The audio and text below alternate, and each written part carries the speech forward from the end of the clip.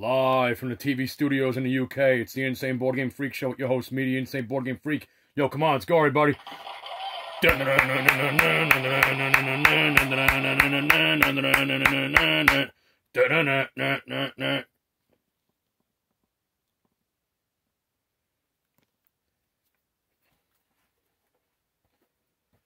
Based on the popular TV series, a majorly cool game show in the UK many, many, many, many, many years ago.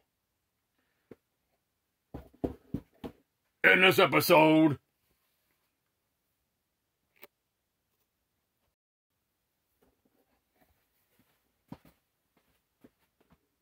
Crystal Maze, the time travel adventure game. The board game. Quick, to the board game room. We gotta travel in time.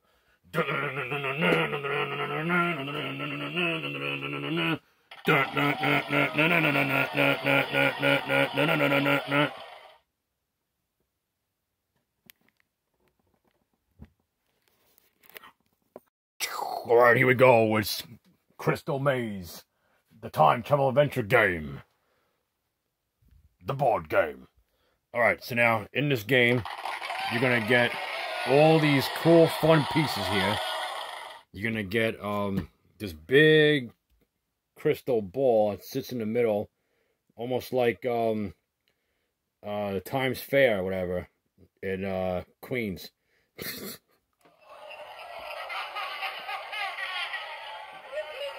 but this game is from the UK, so uh really cool, fun game. You got the crystals here, all 16 of them.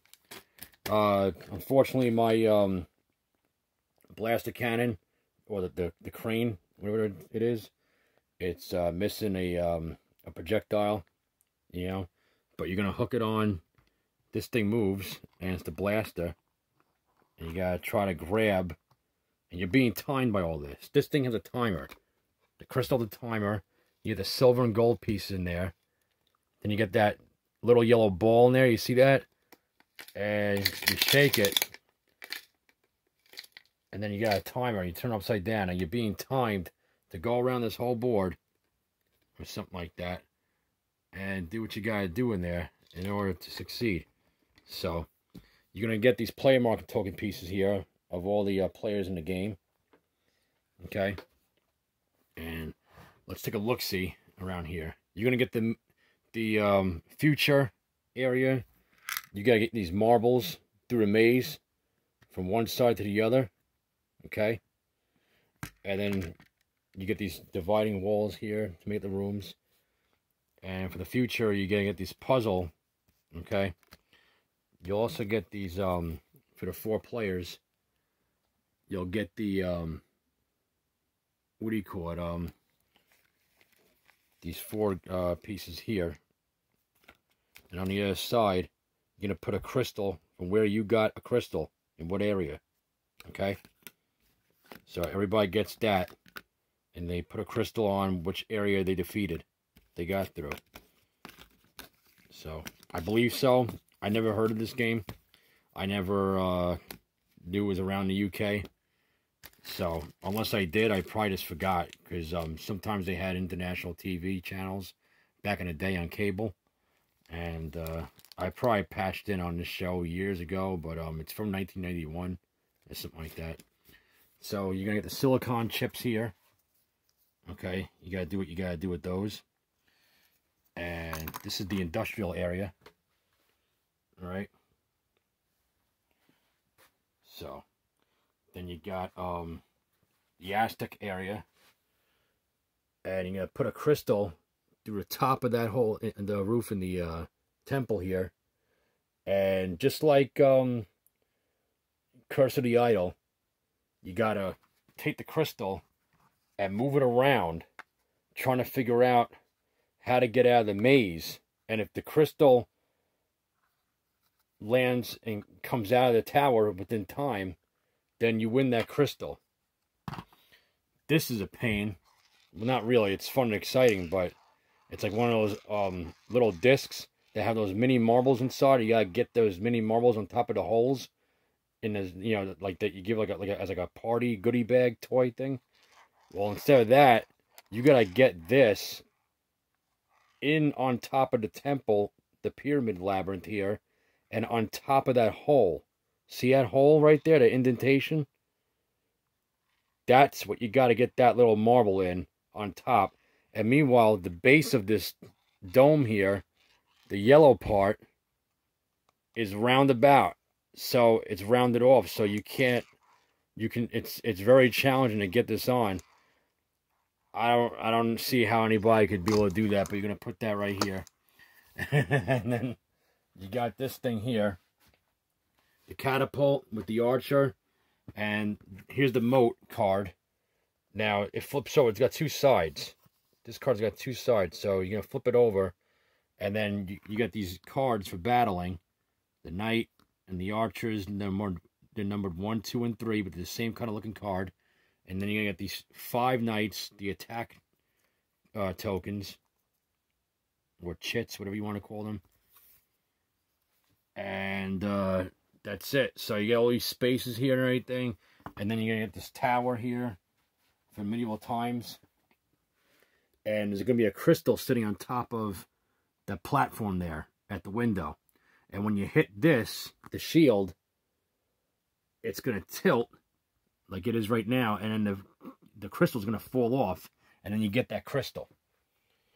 So it's got it's got a lot of cool you know, um, entertaining obstacles to go through and, and challenges to do in the game in order to win the game. So, uh, now let's go to the instructions. I'll show you, I'll, you know, tell you how to play the game.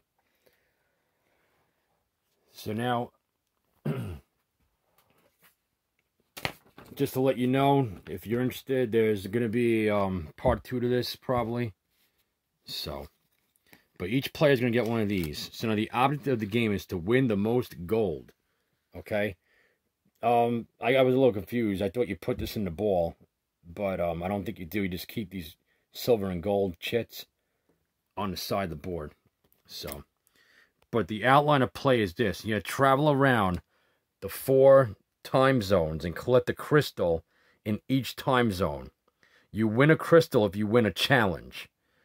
The first player to collect four crystals wins the first round and has the advantage of going first into the final round when all players take a turn to try to catch the most golden tokens inside the crystal dome to win. So yeah, that, that's why they're inside there. But I don't know yet, so let's just figure it out. So now setting up the game, you're going to follow the assembly instructions on, you know, the inside the box lid, obviously. And you're going to set up the game like this.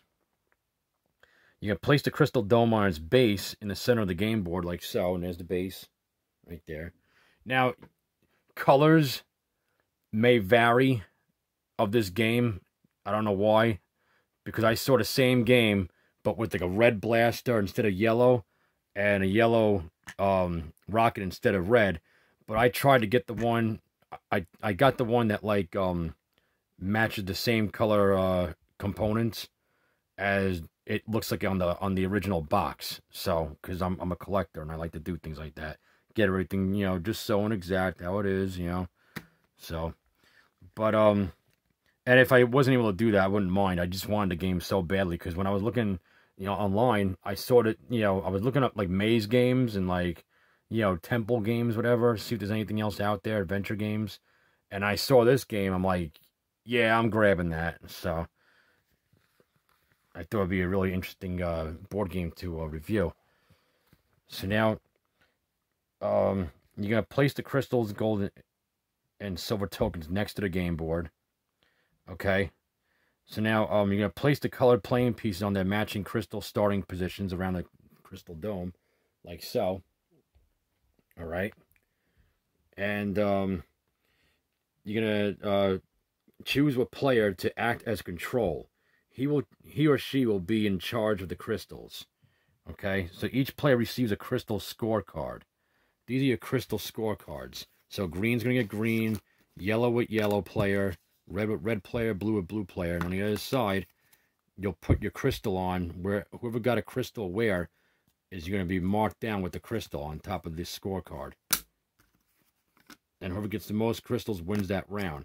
Now, um, each player must try to uh, be the first to collect four crystals. To do so, you must visit all the time zones and win one crystal in each time zone. All right? So now, starting the game, decide who's going to start the game by shaking the crystal dome. All right? The player who spins the highest score goes first. Play continues in a clockwise direction. Now, I don't see how or why you would take this and spin. There's no dice in here or anything to see who goes first. So just a little house rule, something like that. And also being that I don't really know how to do that and what they mean. I just grab like a little die, a six-sided die. High roller goes first and that's it. So don't worry about that. That clears that up. So now, um, so now play continues. High roller goes first. Play continues in a clockwise direction. The movement. Movement. Players may choose to move to any time zone to make their first attempt to win a crystal. Okay, so you could choose it wherever you want to go. You go there and that's it. Try to get a crystal. You do not have to start with the time zone nearest to your crystal starting position. All right, so just because you start at green and it's medieval times over there, doesn't mean you got to go there. You can go around here and then enter this time zone in the future. Or maybe you want to go in an industrial area or the Aztec area anywhere you want to go, you just go there, or medieval times. But anyway, that's it. So now, um, entry to all time zones is via one of the four crystal starting positions. All right. So you can you got to enter through a crystal, you know, either red crystal, yellow, green, or blue. Okay. So now, um, once inside a time zone, you may only move in a clockwise direction. So once I enter the medieval times, I got to go around this way like that. I can't go back there or to there and skip there or whatever. I got to go clockwise once I enter here. So if I enter future zone, I got to go that way or that way and then that way. You understand? So that's it. So now, movement on the central track between the time zones can be in any direction, either clockwise or anti-clockwise. So you're going to go, you can go clockwise or counterclockwise. You can move however you want to go once you're in the time zone. All right, so that ends that. So now, um, inside each time zone, once inside a time zone, you must attempt to land on one of the challenge spaces to take up a challenge and win a crystal. So here, the you know, you land on that challenge space. That's the puzzle right here. All right, that's the puzzle right here. All right, and then you got the uh, the crystal ball, no crystal ball, the rocket ship, but you gotta do this thing or this the crystals locked or something like that or you go right to the aztec zone and then you enter in through there or something like that right? Through there and then you start in there you get it? So now um the time zone spaces each of the four time zone spaces includes uh, the following spaces. When you land on any of these spaces you must act on their instructions immediately because you're being timed too so what you got to do is this. So the challenge spaces, if you land on one of these spaces, you must take up the challenge shown.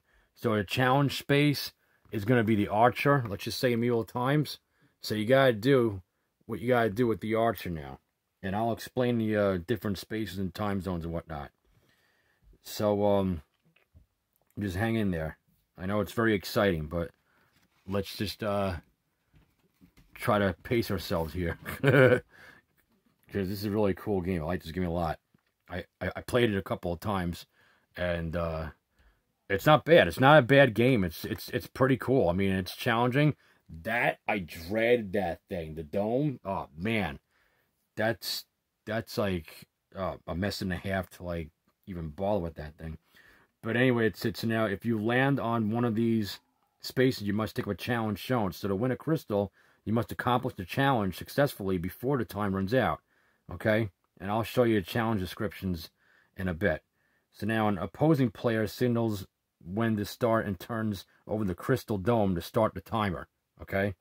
So now if you're successful, um, you're going to uh, collect the crystal from the control and you're going to place it in the matching time zones you know, on your disc, on your crystal time zone scoreboard here. Okay. So, um, then, uh, but beware though, if you land on another challenge space in the same time zone, you must win the challenge to keep the crystal you already hold. So if you lose the challenge, then you'll lose that crystal into control, and control's going to get it back, and that's it. You don't get it. So you're going to select the challenge space, and then these are exactly the same as ordinary challenge spaces. All right, so except that you have the option to choose which of the two challenges in that time zone you wish to take up. Okay, so now select the challenge space. So let's just say for this one, you guys select one to double. If you land on this one, you got to do that one. You don't have a choice. But this one, you have a choice because, you know, the double space. So now, um, you're going to select the space like that. Now, the locked in spaces, you get locked into the time zone. You're going to lose a crystal to another player of your choice. So these are the locks, you know, and you got locked into a time zone. Now you got to give the crystal up to another opponent. So you get locked into the time zone. You lose a crystal to another opponent of your choice. Okay. So you pick out the player that you want to give the, the crystal to. So you must give away the crystal you won in that time zone first. And if not, you're going to give away any other crystal in your possession. So you may choose into which um, of the other players' time zones you wish to place the crystal. All right. So now, um, if you hold no, no crystals on your crystal scorecard, play moves straight to the next player. So you may move on your next turn then. So that ends your turn. It goes to the next player, and then on your next turn, you gotta just wait your turn to go again. That's it. So you didn't move. You're just moving your next turn. So now, um, zone move spaces. All right. If you land on the zone move space, you must move immediately to the crystal starting position of the time zone shown on the space and end your turn. All right. So the crystal time zone position. All right. So um, that's the free crystal spaces. Now the X crystal space, I'll get to you that in a bit. Now, if you land on a zone space, you must move immediately to the crystal starting position of the time zone shown on space. So if you land on the Aztec symbol here, then you got to land on, you go straight to the blue crystal. All right and then you start your way around in the Aztec zone. Or if you uh, end up here, medieval times in the industrial, you got to go and end up here uh, on, a, on green and then work your way around. It's a pretty cool game. I like it a lot. It's really fun. Um, there's a lot to do in this game. So now, um, time zone shown on the space, and then you turn. Okay, now on your next turn, you may move into that time zone or continue to another time zone if you prefer. So if you here, just because you you went here, or if you were here and then you wanted to go to the future, you went to the future now. It doesn't mean you guys you land here to start in this one, but it doesn't mean you have to start and go in this one. You could stay here on your next turn and then choose to go to any other zones that you want, or whatever. But it has to be clockwise, all right? You can't skip around. All right, so now um, but then this one, another time, they mean, okay, so you can go to another time zone that you prefer to go to, okay. But I believe that you have to stick to that rule where you have to stay counter, you have to stay clockwise, all right. So now free crystal spaces, all right, free crystal spaces. You receive a free crystal from control. That's pretty cool. I like that. The crystal is only valid for the time zone, though, through which you are currently traveling. So if you have already filled the matching space for that crystal scoreboard for that zone, then you can't keep that, you can't accept that crystal. It's free. Okay, you can't accept the free crystal. So that's too bad. But if, if you if you didn't get a crystal from that zone yet, then you, you can get the crystal. It's pretty cool. So play moves straight to the next player then, if you can't accept the crystal. Now the the, the X space, okay, the X space if you land on the X space, the player to your left chooses one of the eight challenges for you to carry out. So if you land here, then a, another opponent is going to tell you where to go and what challenges you got to take. Okay? That's pretty cool. I like that. So now if you lose a challenge, all right, you lose one crystal of to control. And if you win the challenge, you save any crystals you already hold. If you land on the X space when you have no crystals to your crystal scoreboard. Play move straight to the next play, and your turn is over. That's it. collecting crystals. The first player to collect four crystals moves immediately to the gangway one. Okay, now gangway one, I believe, um, is going to be right here. These little bridges here. All right, gangway one, then there's two, then there's three, and then there's four. All right, this is like those little metal bridges here. Okay, so now once you're there, um, your your your turn ends. That that ends your turn, and that's it. So now the other players each take one more turn to try to collect another crystal, and they must then determine the order in which they will follow the leader into the final round. This depends on the number of crystals each player has. So the player with the next highest number of crystal moves his playing piece to gangway 2 on the other side of the crystal and so on. So if two or more players finish with an equal number of crystals, they must line up in the order they played. Whoever was the first to collect that number of crystals has precedence. Okay? The final round. Convert the dome for the final round uh, following the assembly instructions on the inside of the box lid. Sign it. So this this isn't even this crystal isn't even going to be here yet in the center of the board. My mistake. But now it is because you're getting into the final round. So you know what you what you that 80s rock band said in Europe. It's the final countdown.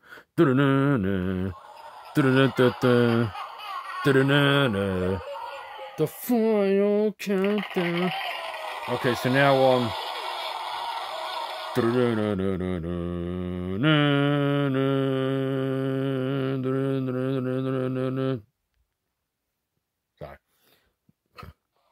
So anyway, um the final round um the player on the gangway one is the first to have a go at collecting gold coins tokens from the crystal dome.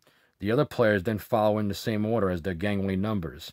As there were are more gold tokens in the Crystal Dome at the start of the final round, the player who goes first has the best chance of collecting the most golden tokens. To win the game, each player must try to shake the most gold tokens out of the Crystal Dome with, within one period of the timer. Each gold token is worth one point. Each silver token is a, is a point lost. Yeek. When your time is up, count up all the gold tokens, subtract all silver tokens, and keep a note of your final score. Note that the lowest score is zero, obviously. I mean, where'd you put the squad card, Dick Tracy?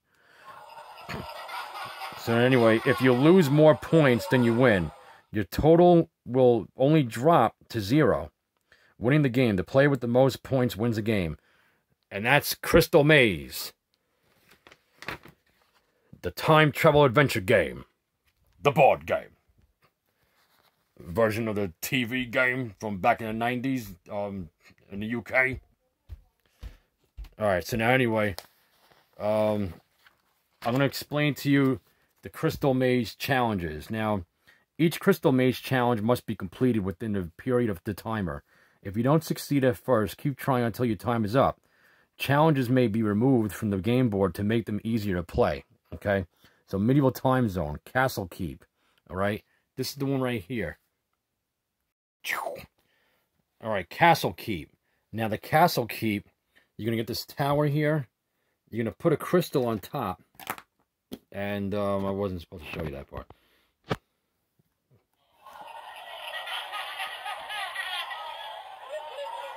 Excuse me a second. Okay, now, so this is the um, the crystal